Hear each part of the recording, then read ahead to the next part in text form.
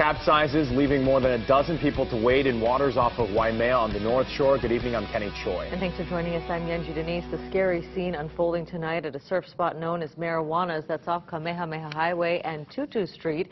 KITV4's Brenton Awa standing by live from Haleiwa Boat Harbor, where the majority of those rescued were just brought in moments ago. Brenton.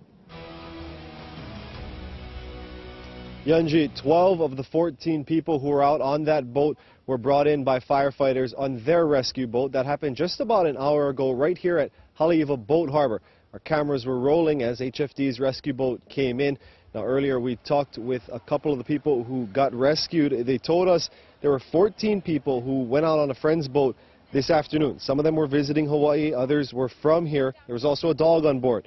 They said they were all going out in the ocean to have fun, but when they got near Waimea Bay, they ran out of fuel, and the boat's bilge pump stopped working, and the boat's hull started taking in water until it capsized.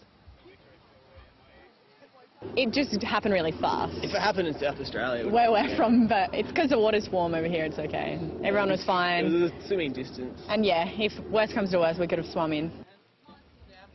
The people who were rescued said they were scared for a little bit, but after the boat capsized, 12 of them just stayed next to the boat that was still floating. Two others swam in for help, and a little later, a Coast Guard chopper flew over and dropped a life raft. Then uh, firefighters showed up in their rescue boat and brought 12 of them in. So again, uh, 14 people were on the boat, 12 were brought in by firefighters on the rescue boat, two others swam in. Everybody is safe on shore tonight. The dog's safe as well. And right now, uh, firefighters, a couple of their trucks are still here because the rescue boat is still out. Um, they're trying to bring in that boat we're told is a 25-foot Boston whaler.